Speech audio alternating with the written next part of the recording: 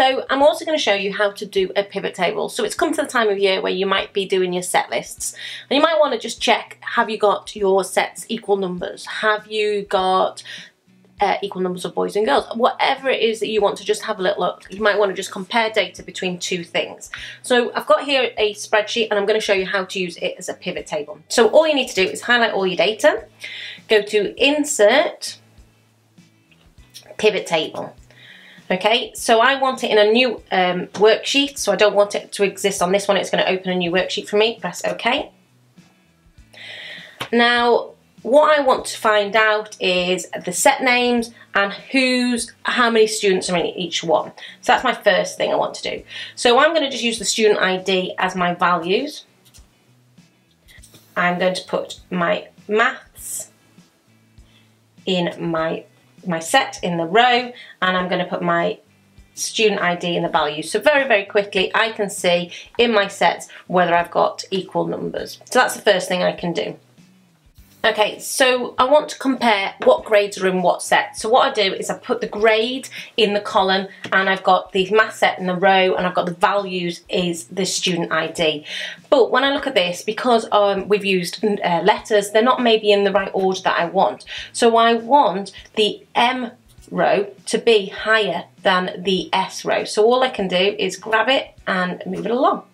Another quick trick is you can highlight the whole of the thing in between any two lines, give it a double click and it'll scrunch it up so it's easier to see and then again you might just want to move around some. And then if you wanted to look at what students were in a particular group, all you do is you go to the cell, you think, oh, why is those students there? Double click on them and it'll give you a list of those students. Okay, so maybe you want to look at targets and compare targets. So what I want to look at is against the um, Year 11 target. So instead of math set, I'm going to use target. So I'm going to get rid of math set. So I've got the target, okay. I have got their current grade and their values. So I've got here the target on the left, I've got their current uh, achievement and I want to see who's um, on target or not. So very simply what I'm going to do is just make sure that they are in the right order first.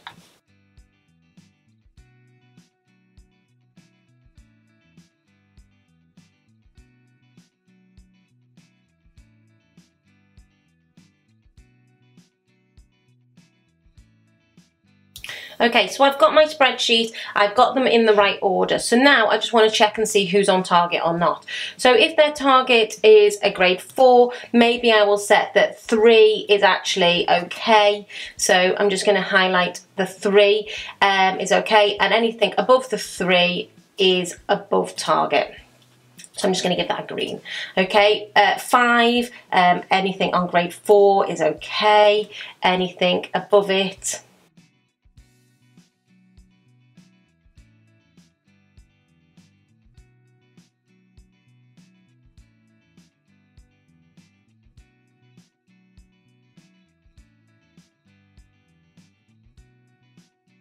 And again, if I want to know any of these students, I want to know who this student is or, um, or why this student hasn't got a grade, all I need to do is click on it and it will give me the information from the original spreadsheet.